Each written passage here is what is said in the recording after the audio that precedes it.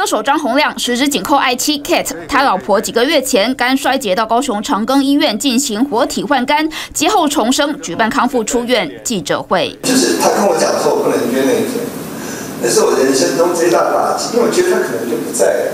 张洪亮哽咽泛泪，感谢表弟捐肝。张洪亮的太太是立陶宛籍，今年四月出现黄疸、倦怠、食欲不振等症状，九月份肝功能恶化、肋膜积水，十月份在北部就医，情况严重，转诊到高雄长庚医院，找上了台湾换肝之父陈兆龙进行活体肝脏移植手术，经过休养，十二月十号康复出院。最危急的情况之下，那么我们甚至也沙盘推演，准备做双肝移植。张洪亮的太太就医时状况差，一度考量由张洪亮跟表弟双肝移植，但经过评估，加上病患感染获得控制，最后由张洪亮的表弟捐赠左边肝脏。肝脏有八个小节，那么他捐的左肝是第二、第三、第四，三个小节，他三个小节都各有一条动脉。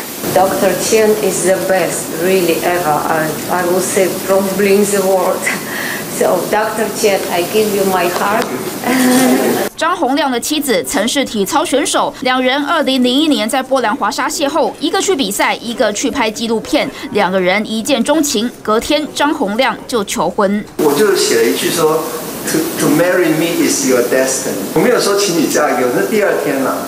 第一天，他说：“我说你第二天你还会来吗？”他说会来。经过一连串的转折，爱妻活体肝移植成功，张洪亮心中的喜悦难以言喻。